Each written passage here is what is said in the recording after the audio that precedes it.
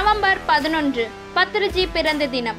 ரெண்டாயிரத்தி பத்தொன்பதாம் ஆண்டு முதல் அன்றைய நாள் தியான தினமாக கொண்டாடி வருகிறோம். நமது அகத்தியர் மகா பிரமிட் சேத்திரத்தில் நவம்பர் மாதம் பதினோராம் நாள் பத்ருஜியின் பிறந்த நாள் கொண்டாட்டங்களை தியான தினத்தை சிறப்பாக கொண்டாட திட்டமிடப்பட்டுள்ளது. காலை ஐந்து மணி முதல் மாலை ஏழு மணி வரை கோலாகலமான திருவிழாவாக கொண்டாட இருக்கிறோம். காலை பத்து மணி முதல் பன்னெண்டு மணி வரை இசையுடன் கூடிய தியானமும் கிறிஸ்டலுடன் கூடிய தியானமும் நடைபெற உள்ளது. மதியம் பன்னெண்டு மணி முதல் ஒரு மணி வரை global meditation teacher Pradeep Vijay அவர்களின் மெடிடேஷன் மெசேஜ் மற்றும் விஸ்டம் ஷேரிங் நடைபெறும். ஒரு மணி முதல் இரண்டு முப்பது மணி வரை பல்சுவை விருந்து அளிக்கப்படும். இரண்டு முப்பது மணியிலிருந்து மூன்று முப்பது மணி வரை கலை நிகழ்ச்சிகள் நடைபெறும். மூன்று முப்பது மணியிலிருந்து ஐந்து மணி வரை மூத்த பிரமிட் ஆசான்களின் அனுபவங்கள் பகிரப்படும். ஐந்து முப்பது மணியிலிருந்து ஏழு மணி வரை இசையுடன் கூடிய தியானம் நடைபெறும். அனைத்து தியானிகளும் இதில் பங்கு பெற்றிடுமாறு அனைவரையும் கேட்டுக்கொள்கிறோம்.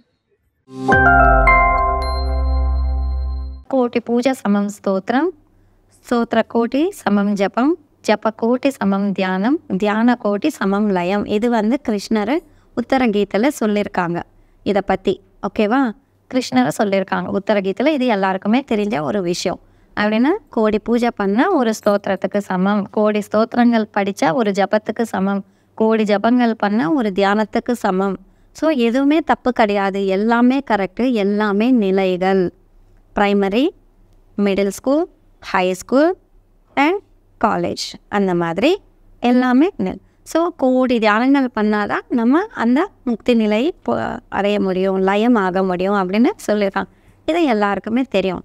ஆனால் ஒரு நாள் இது இதுக்கான ஒரு விளக்கம் கிடைச்சது. என்ன அப்படின்னு பார்த்தீங்கன்னா ஸோ பூஜை பண்ணும்போது நம்ம வாயில் மண்ணு சொல்கிறோம் கண்ணு முன்னாடி ஒரு விக்கிரகத்தை வச்சுட்டு பூ வச்சு நாம் கண்ணால் பார்த்து ரசித்து பண்ணிட்டு இருக்கிறோம். சரியா? அது இஷ்டப்பட்டு எ எதை பண்ணாலும் இஷ்டமாக செஞ்சால் மட்டும்தான் இதெல்லாம் க அட்லீஸ்ட் கோடி டைம் பண்ணால் கூட அந்த இது கிடைக்கும். அடுத்த நிலை கிடைக்கும். கா பூஜை ஃபுல்லாக கம்ப்ளீட்டாக பண்ணால் தான் நமக்கு ஸ்தோத்திரம் என்றது தே படிக்க முடியும் நம்மளால் செய்ய முடியும்.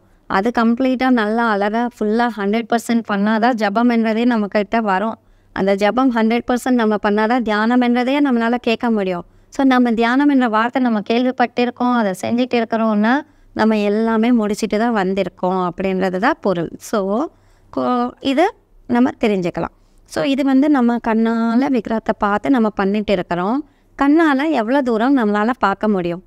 ஏன் அது ஹையஸ்ட்டு அது ஹையஸ்ட்டு அது ஹையஸ்ட்டுன்னு சொல்கிறாங்க அப்படின்றதுக்காக ஏன் பூஜைன்றது ஃபஸ்ட்டு ஸ்டெப்பு அடுத்த ஸ்டெப்பு அடுத்த ஸ்டெப்புன்னு சொல்கிறாங்க இல்லையா? எதற்காக என்ன நடக்கும் அப்படின்னு பார்க்க பார்க்கறதுக்காக புரிஞ்சிக்கிறதுக்காக ஏன் அதை சொல்லியிருக்காங்க அப்படின்னு?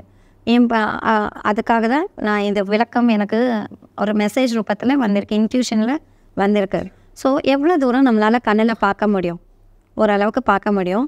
பார்வை நல்லா இருந்தால் இல்லைன்னா கண்ணாடி போட்டால் கூட ஓரளவுக்கு தான் நம்மளால் தூரம் இந்த செவருக்கு தாண்டி அந்த பக்கம் என்ன இருக்குது என்னால் பார்க்க முடியாது. ஸோ இந்த ரூமுக்குள்ளே ஸோ இந்த மாதிரி ஓரளவுக்கு வ- நம்ம வெட்ட வெயிலில் இருந்தால் கூட ஓரளவுக்கு இருக்கிற மரம் தான் நம்மளால் பார்க்க முடியும். அதுக்கு பின்னே என்ன இருக்குன்னு நமக்கு தெரியாது. ஸோ கண்ணால் ஓரளவுக்கு தூரத்தை தான் நம்ம ரீச் பண்ண முடியும். அந்த அளவுக்கு ஞானத்தை தான் பெற முடியும்.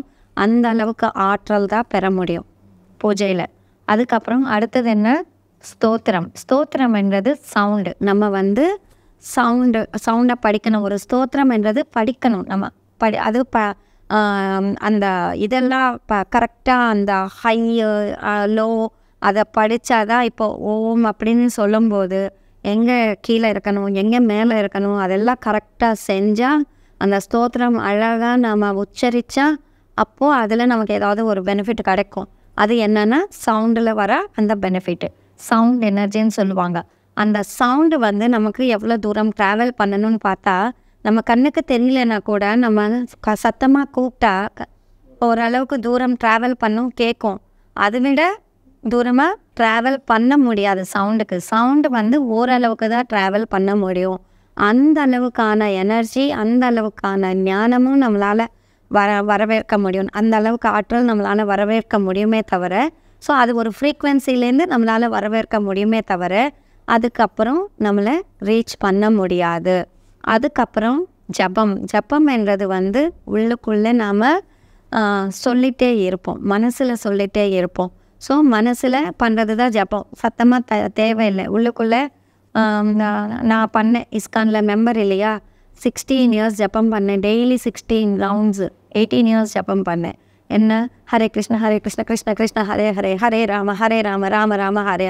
இவ்வளவும் ஒன் நாட் எயிட் டைம்ஸு பண்ணால் ஒரு ரவுண்டு அந்த மாதிரி சிக்ஸ்டீன் ரவுண்ட்ஸு வெளியே மாலை இருந்தாலும் சரி இல்லைனாலும் சரி உள்ளுக்குள்ளே போயிட்டே இருக்கும் அந்த ஜபம். அந்த மாதிரி நான் எயிட்டீன் இயர்ஸ் பண்ணேன். ஸோ ஜபம். அந்த மாதிரி ஜபம் பண்ணும்போது அது நம்ம மனசால் பண்ணுறோம் மனசு என்றது வந்து அமெரிக்காவில் இருக்கிறவங்களையும் நினைக்கலாம் ஹிமாலயாஸில் இருக்கிறவங்களையும் நினைக்கலாம் ஏதோ லோகத்தில் மாஸ்டர்ஸ் இருக்காங்களா அப்படின்னு நம்ம நினைக்கலாம். ஸோ ஓரளவுக்கு மனசு ட்ராவல் பண்ண முடியும். ஸோ மனசில் மனசால் பண்ணுறதுனால எனர்ஜி அதிகமாக இழுக்க முடியும். புரியுறதா ஸோ அதனால் ஜபம்ன்றது இன்னும் ஒரு ஹையஸ்டான ஒரு இது. அந்த எல்லாமே எனர்ஜி பேஸ்டு தாங்க. நம்ம எந்த அளவுக்கு எனர்ஜி வாங்க முடியும் அந்த செயல் செய்கிறதுனால அதுதான். எனர்ஜி லூஸ் பண்ணுறோமா எனர்ஜி வாங்குகிறோமா அதுதான் நம்ம பார்க்க வேண்டியது. எல்லாமே ஆற்றல் தான் இங்கே. ஸோ பூஜை பண்ணாலும் ஆற்றல் கிடைக்கும். ஜபம் பண்ணாலும் ஸ்தோத்திரம் படித்தாலும் ஆற்றல் கிடைக்கிறது. ஜபம் பண்ணாலும் ஆற்றல் கிடைக்கிறது. ஆனால் எவ்வளோ கிடைக்கிறது என்றது தான் பொருள். ஸோ ஓரளவுக்கு கிடைக்கிறது. ஆகாயம் அதுக்கு அடுத்தது தியானம் என்றது என்ன? ஆகாயம் எம்டி ஸ்டேட் தியானம்னா என்ன? நோ தாட் ஸ்டேட் எம்டினஸ் அதுதான் ஆகாயம். ஆகாயத்துக்கு என்றது நோ எண்ட் ஸோ அந்த காஸ்மிக் எனர்ஜி அன அனர்காலமாக பிரபஞ்சம் ஆகாயம் மட்டும் இல்லை பிரபஞ்சம். ஸோ ஆகாயம் எதில் கலந்திருக்கு? பிரபஞ்சத்தில் கலந்திருக்கு. எல்லாமே அதுக்குள்ளே இணைந்து வந்துடும். ஸோ அந்த பிரபஞ்சம் நம்ம எல்லாமே நமக்கு வரத்துக்கு வாய்ப்பு தியானம் பண்ணால் மட்டும்தான் அதுதான் தியானம் ஹையஸ்ட் அப்படின்னு சொல்லியிருக்காங்க. ஸோ ஒரு பூஜை ஒரு ஸ்தோத்திரம் ஒரு ஜபம் ஒரு தியானம். எது நம்ம க- எதுக்கு அதிகமான நேரம் கொடுக்கணும் அப்படின்றதுக்கு இது எனக்கு கிடைச்ச ஒரு அண்டர்ஸ்டாண்டிங் இது நான் எந்த புக்லேயும் படிக்கலை. எனக்கு திடீர்னு ஒரு தாட் வந்தது. ஸோ இந்த என்- கசின் வந்து ஃபோன் பண்ணி அக்கா அதை சொல்லு ஒரு வாட்டின்னு என்னை கேட்டான் அந்த அந்த ஸ்லோகம் சொல்லு அப்படின்னு கேட்டான் அவனுக்கு சொல்லும்போது எனக்கு வந்த இன்ட்யூஷன் பேசிட்டே இருக்கும்போது வந்த இன்ட்யூஷனு இந்த பொருள். கரெக்டாக இருக்குல்ல? எனக்கு வர இன்ட்யூஷன்ஸில் எனக்கு கிளாரிட்டி இருக்கும் எனக்கு பிடிக்கும். அது கரெக்டாக அதனால் இது பார்த்தா ஒத்தி பார்த்தா ஆமாம் கரெக்டு தானே இது தானே நடக்கிறது இதனால தான் இது உயர்ந்ததா? இல்லைன்னா சும்மா கண்மூடித்தனமாக அவங்க சொன்னாங்க நம்ம பண்ணிட்டு போயிட்டே இருப்போம். ஆனால் நமக்கே புரிஞ்சதுன்னா நமக்கு தெரியும். ஸோ நம்ம ஒரு பெரிய ஒர்க்கு நடக்கணும் நமக்கு. எல்லா ஸ்கூல்ஸையும் கிளாஸு சொல்லி தியானம் சொல்லி கொடுக்கணும். நம்ம யாரை போய் மீட் பண்ணணும்? ஒரு எஜுகேஷன் மினிஸ்டரை மீட் பண்ணணும் இல்லைன்னா ஒரு சீஃப் மினிஸ்டரை மீட் பண்ணணும் இல்லைன்னா ஒரு கலெக்டரை மீட் பண்ணணும். இப்போ நாங்கள் வந்து தமிழ்நாடு ஃபுல்லாக வெஜிடேரியன் ரேலி பண்ணணும்னு நினச்சோம். அப்போ பர்மிஷன் வாங்கணும். கமிஷனர் ஆஃபீஸில் போய் பர்மிஷன் வாங்கணும்.